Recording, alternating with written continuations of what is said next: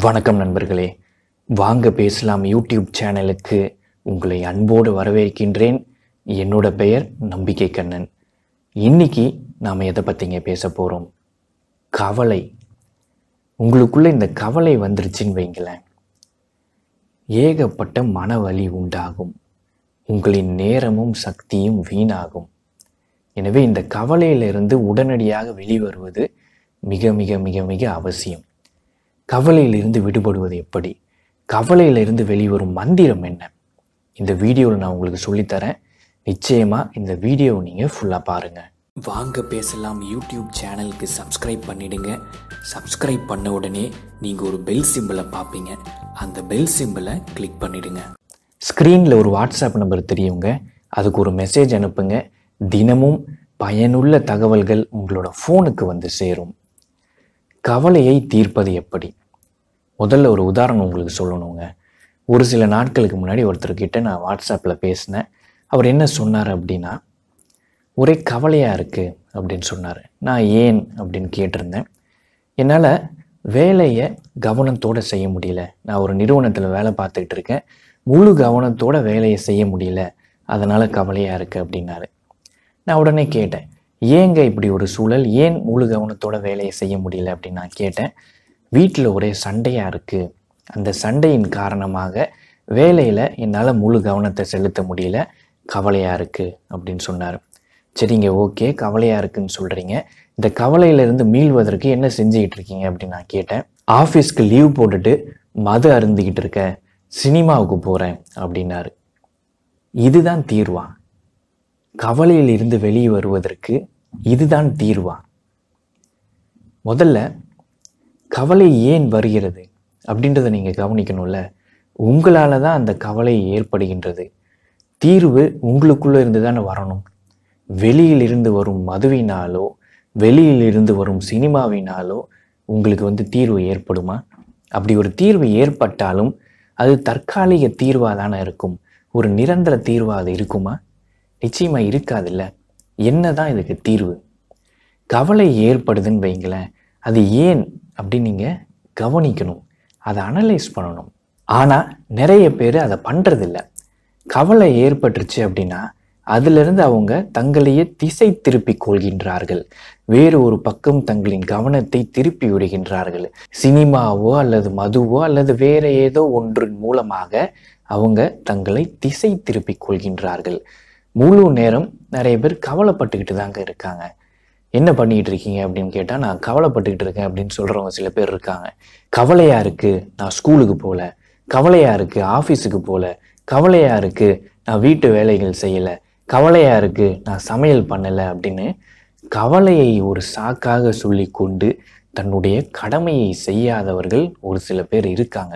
ஆனால் இது சரியான ஒரு அணுகுமுறை கிடையாதுங்க. கவலை வருது அப்படின்னா அதை நீங்கள் அனலைஸ் பண்ணணும். ஏன் கவலை வருகின்றது? நான் சொன்ன உதாரணத்தில் அவர் கவலையாக இருக்குது அப்படின்னு சொல்லியிருந்தாரு. காரணம் ஆஃபீஸில் வேலையில் கவனம் செலுத்த முடியல. வீட்டில் சண்டையாக இருக்குது அது இரண்டு விஷயமும் சேர்ந்து மிகப்பெரிய ஒரு கவலையை தருகின்றது. இப்போ இதை அனலைஸ் பண்ணணும். ஏன் இது கவலையை தருகின்றது? வீட்டில் சண்டை நடக்குது அப்படின்னா வீட்டில் ஒவ்வொருத்தரும் ஒவ்வொரு உலகம்ல ஒவ்வொருத்தரும் பல லட்சம் பல கோடி எண்ணங்களின் ஒரு குவியல். ஒவ்வொருவரும் தங்களுடைய எண்ணங்களுக்கும் உணர்வுகளுக்கும் கட்டுப்பட்டு ஆடுகின்ற ஒரு பொம்மை. அவங்க என் நேரத்தில் எப்படி பேசுவாங்கன்னு நமக்கு தெரியாது. எப்போ நமக்கு சாதகமாக பேசுவாங்க எப்போ நம்மளை பாராட்டுவாங்க எப்போ நம்மளை வந்து திட்டுவாங்க எப்போ நம்மளை வந்து கோபப்படுத்துவாங்க எதுவுமே நம்மளுக்கு தெரியாது. இப்படிப்பட்ட ஒரு சூழல்ல அவங்க ஏதாவது ஒரு விஷயத்த சொல்லிட்டாங்க நமக்கு எதிராக அப்படின்னா உடனே பொங்கி எழுந்து கோபப்பட்டு ஆத்திரப்பட்டு பேசி மிகப்பெரிய ஒரு சண்டையை உருவாக்குறதுல என்ன அர்த்தம் இருக்கின்றது? நல்லா யோசிச்சு பார்க்கணும். என்ன அர்த்தம் இருக்கின்றது? பல பேர் அவங்க என்ன பேசுறாங்கன்னு அவங்களுக்கே தெரியாது. அவங்க பேசுற வார்த்தைகளை நீங்க சீரியஸாக எடுத்துக்கிட்டு சண்டை போட்டு பெரிய ஒரு கவலையை உருவாக்கி கொள்வதில் என்ன அர்த்தம் இருக்கின்றது? அதை நீங்க அனலைஸ் பண்ணணும். பிறரின் வார்த்தைகள் உங்களுக்குள்ள ஏன் இவ்வளவு மாற்றங்களை ஏற்படுத்துகின்றது?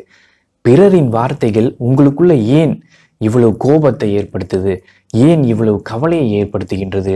உங்களின் எண்ணங்களும் உணர்வுகளும் உங்களுக்கு எதிராக ஏன் செயல்படுகின்றது? இதை தானே நீங்கள் அனலைஸ் பண்ணணும். அதுதானே ஒரு தீர்வாக இருக்க முடியும். அதுதானே ஒரு நிரந்தர தீர்வாக இருக்க முடியும். நிரந்தர தீர்வை நோக்கி தாங்க நீங்கள் நகரணும். அது ரொம்ப முக்கியம். தற்காலிக தீர்வு நிரந்தர தீர்வு இல்லை.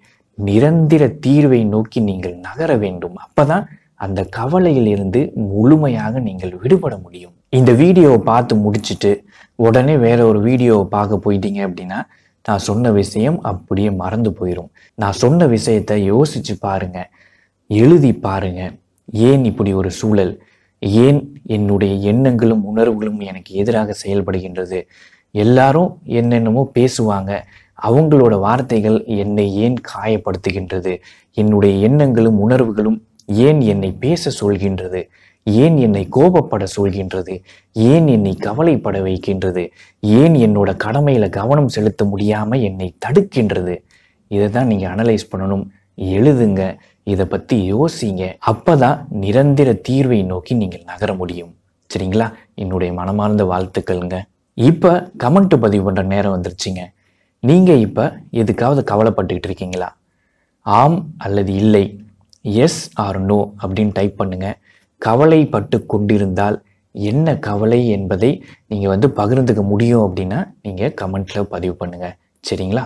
நீங்கள் ஃபேஸ்புக் டெலகிராம் இன்ஸ்டாகிராம் இதெல்லாம் இருந்தீங்கன்னா என்னை ஃபாலோ பண்ணுங்கள் ஸ்க்ரீனில் லிங்க் தெரியும். இவ்வளவு நேரம் இந்த வீடியோவை பொறுமையாக பார்த்த உங்கள் அனைவருக்கும் என்னுடைய மனமார்ந்த நன்றி. வணக்கம்.